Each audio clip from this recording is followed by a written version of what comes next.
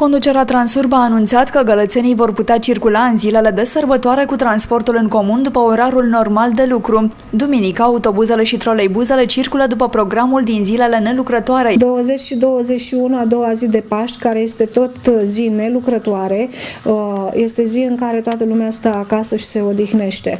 În aceste zile noi avem graficul pentru zilele de sâmbătă și duminică, care îl avem pentru zilele nelucrătoare.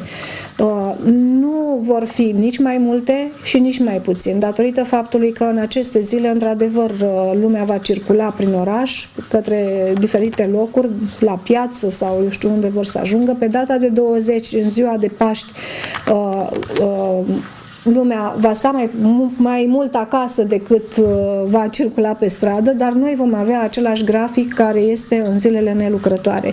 Și luni la fel. Deci nu va fi uh, graficul pe care îl avem în zilele lucrătoare atunci când toată lumea merge la servici.